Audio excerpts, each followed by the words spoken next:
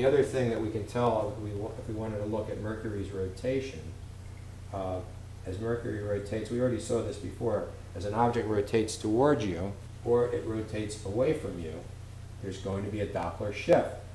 So if you're trying to uh, radar, for instance, image something like this, or laser image something like this, you've got, if the planet is moving like this, and it's moving at one point, uh, the signal that you're, that you're bouncing off of this is going this way, and at the other point, it's going that way. When it's actually going away from you or coming towards you, uh, as this is, you know, as, well, it's not, wouldn't be, wouldn't be, go, it would still be coming towards you. But these, um, as this is moving this way, what's going to come back is a wave that's going to be bigger than the wave. If the initial wave was was sent in at, let's say, the wave that actually came in here looked like this, then it's widened. Some of what's going to return is going to be widened, and some of what's going to be be what, what will return will be narrowed. It's going to be redshifted in this direction if it is rotating this way. It's going to be redshifted uh, as it's moving this way, and it's going to be blue shifted as it's moving this way. So this is red. This is the red shift, and that's the blue shift. So we can see that uh, in our return signal, uh, we're going to see uh, that the, that we're going to get a shift depending on whether we, we're, we're getting the signal from this side or that side. Uh, we're going to see either a red shift or a, or a blue shift in the signal. One thing I didn't mention is that when an asteroid or a meteoroid hits, hit the surface of the moon or it hit the surface of, um, of Mercury, uh, it caused what actually happens is it actually caused uh, material from this tremendous kinetic energy of this object being struck by a, by a large object. Material is ejected. This is called ejecta, and it's strewn around the uh, outside of the of the crater. So if you look at a crater, what you'll find is it's not just a hole. It's not just a hole in the ground, but it's a hole in the ground that seems to have sort of like mountains around it, and that's the ejecta actually piling up as this material is, is, is strewn out of there. So you see the, this pattern of ejecta both in Mercury and uh, also uh, on the moon. Now, one other interesting thing about the moon uh, is the uh, concept of, uh, and it- it's, it's still posed somewhat of, a- of a question, how much water, if any, is actually present on the moon? So if you're ever going to colonize the moon or any other planet or satellite of any other planet, assuming that you could do that, uh, you would really need to have water. If you don't have water, then you have to bring the water with you. And that's a very, very expensive proposition. Because water, even in space, uh, well, it's not just that it's in space, but the point is we have to, it takes up space uh, on, the, on the craft. And if you're going to try to establish a colony, you need a lot of water. You can't bring uh, uh, a few uh, gallons of it. You probably have to bring, you might have to bring millions of gallons. So that really does create a problem. So it'd be a lot nicer if we could actually find water uh, on the surface. And it turns out that water apparently does exist on the moon, but there's a question of, uh, and it doesn't exist as liquid water, it exists as ice. So it may exist in permanently uh, shaded uh, uh, floors of craters near the poles. That seems to be the case. It seems to be in a small, in small, uh, what we might, might want to refer to as lakes that might be just below the surface.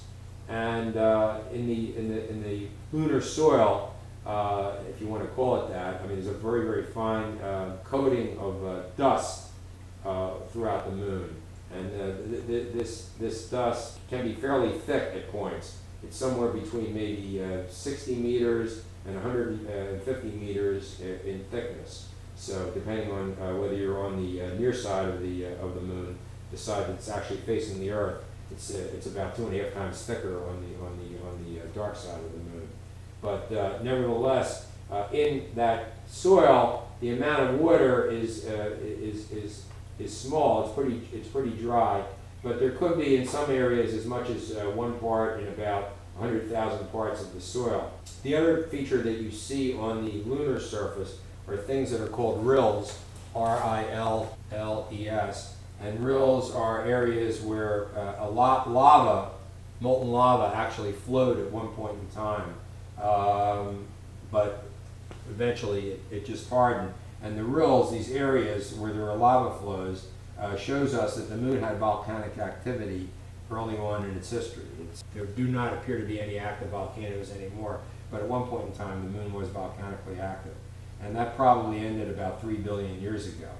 Now, Mercury's surface, if we look at Mercury com uh, compared to the moon, it looks sort of uh, like the lunar surface, as I said before. But one of the things is that, uh, for instance, the ejecta on a crater on Mercury seem to be much closer to the crater than they are on the moon. And that's easily explained if you realize that the, that the gravity on the moon is about half of the gravity uh, on, uh, on Mercury. So anything that's going to be ejected from the moon surface will go a lot further than it would if this is the, um, this is the moon. It's going to go further than it would if, this, uh, if we're talking about Mercury. When that hits, then those things are not going to go as far. So the, you know, we'd expect to see the area, the sort of mountainous area around the crater, uh, the, the ejecta would actually be closer to the crater uh, on Mercury, and that is the case, in fact. Uh, craters uh, on Mercury are, are less densely packed, and the inner crater, inner crater plains uh, cover about 40% of the planet's surface. Uh, crater walls are also not as high, again because of the, uh, the fact that Mercury has a, has a higher um, gravitational field than material does not pile up as high either. And it's closer to the craters, which I also mentioned. There's also another feature uh, on Mercury that you don't see at all on, um, on the moon, and these are things called scarps. So this is on Mercury only. Scarps, not on the moon. Uh, you, you, you'll have the, some of the other features on, on, on, both, uh, on both the moon and Mercury. Uh, these are not, uh, they're, they're, they're, they're actually look like cliffs, and they don't appear to be volcanic in nature and they cut across several craters. So you might actually have a crater here, and then you have a crater here, and then you have this scarp, this cliff, it, it actually it goes across uh, a number of these craters. Now that would seem to indicate that, uh, that uh, they, they must have formed after the impact that actually gave rise to the craters. Otherwise we wouldn't see they would have had to have formed after the impact because otherwise uh, the impact would have actually destroyed uh, that part of the scarp that we see inside the crater. So the current theory of, of how these things uh, is that um, when the planet was, was actually cooling and its surface was starting to, um, uh, you know, maybe it was still somewhat uh, uh, fluid in nature, as it start, started to cool, the outer surface uh, began to harden a little bit. And then as it continued to cool, uh, it, the interior of Mercury began to shrink a little bit. And if you can imagine uh, uh something uh, cooling down where it's got an, uh, it's got an outer shell, as the inside begins to shrink, this is going to pucker and, and, and, and wrinkle. So it's like a wrinkled skin around the planet. So it's thought that the, that the, scarp, the, the scarps are actually uh, uh, wrinkles, wrinkles in the uh, surface of the planet that are caused by the contraction of the inner part of the planet as it cooled down a bit. Uh, there is a, a bullseye uh, asteroid strike, a very large one on Mercury, that's uh, called the Caloris Basin Crater. And it's got this kind of like dark bullseye appearance to it on the inside. Apparently this asteroid hit the planet so hard that not only did it create this crater on the one side of the planet, but on the other side of the, of the planet, it created a disturbance exactly on, uh, exactly diametrically opposed to where the asteroid struck. On the other side of the planet, it created uh, uh, something that they call weird terrain. And the weird terrain uh, basically is uh, wavy. If you look at it, it's wavy and it's a ripple. It's got a lot of ripples in it. So that's something that had they observed this first and not seen this, uh, it would have been relatively difficult to explain what this wave, what this wavy nature and rippled effect is on the surface here. But it's actually due to the uh, to the tremendous kinetic energy of this uh, of this object actually striking uh, Mercury. Uh, Mercury has a uh, an iron core, it's got, and the, the core actually accounts for 60% of its mass. Uh, it does have a, um, a magnetic field, but the moon has no magnetic field. Um, and it's considered that the uh, core of Mercury, uh, even though it's 60% of its mass, it's not moving nearly as rapidly as, um, say, the Earth's uh, core is. So the field is, is, is pretty weak, uh, but it's nevertheless a measurable magnetic field. the moon has a very thick lithosphere, uh, about a thousand kilometers in thickness. This is the, uh, the, the, rocky outer part of the, of, of the moon. Um, uh, the crust, which is the very outside part of that, is relatively thick, about 60 kilometers. Uh, and uh, as I said, on the Earth side, and 150 uh, on the dark side of the moon. The moon may have a molten core, but it's probably a pretty small core, so it looks a lot, lot different. Now, how was the moon actually formed. Uh, we've got a number of theories uh, regarding uh, the moon's formation, and it turns out that uh, one, one theory, which is, which is known as the sister or co-formation theory, says that the Earth and the moon formed at the same time from some blob of material uh, that was coalescing uh, to, to form these objects. So we had some primordial material that actually split apart and one part of it became the Earth and the other part became the Moon. Well, that pretty much has been rejected by uh, any modern astronomers. Uh, and for the simple reason, well, one of the things that we can say is if that were true, we'd expect that the densities of the Earth and the Moon would be very similar. And in fact, we've seen that the Moon's average density is only about 60% uh, that of the Earth. So if we're looking at 5,500 uh, kilograms per cubic meter versus uh, 3,300 kilograms per, per, cubic meter, it seems unlikely that that co-formation um, theory uh, would actually apply.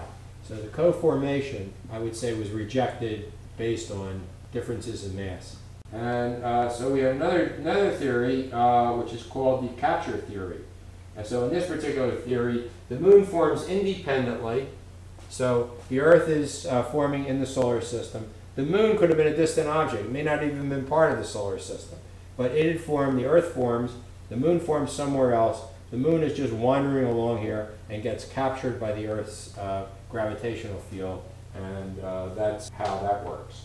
Uh, but this is also highly unlikely because uh, it, you know, any kind of computer simulation that's done with this uh, really shows that that would be extraordinarily unlikely for uh, an object to have approached the Earth at just the right speed and just the right angle that uh, this would have actually happened. It's much more likely that this object would have maybe grazed by the, might have grazed by the Earth or might have moved the Earth or whatever. I mean, you know, even a small object like that, it, it wouldn't necessarily be captured. Maybe it would have actually plunged into the Earth. So it's, it's, it's the idea of it being captured as a satellite is kind of unlikely. Uh, another, uh, another theory is the uh, door. So this was also, uh, what do we call this, the capture theory. And again, very unlikely. And another one is the daughter or fission theory.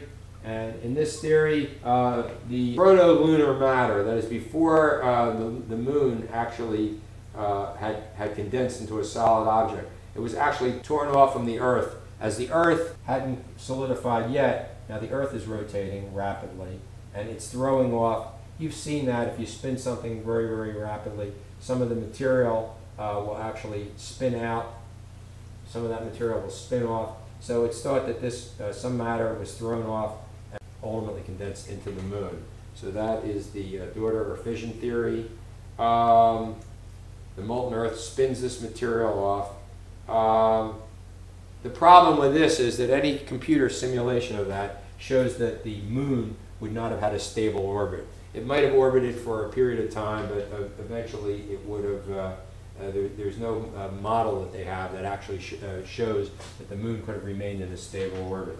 So what does that leave us with? Well, it's the uh, current theory, which is called the impact theory, and this is kind of a, a hybrid of both the capture theory, which we said was unlikely, and uh, the daughter or fission theory. So in this particular theory, what actually winds up happening is rather than uh, material being thrown off from the Earth as it's spinning, uh, that the Earth was actually impacted um, a long time ago, billions of years ago, that the Earth was actually impacted by a very, very large uh, object, uh, maybe a, a, a Mars-sized object. So there could have been another, we don't really know what it was, but something quite large uh, actually winds up hitting the Earth.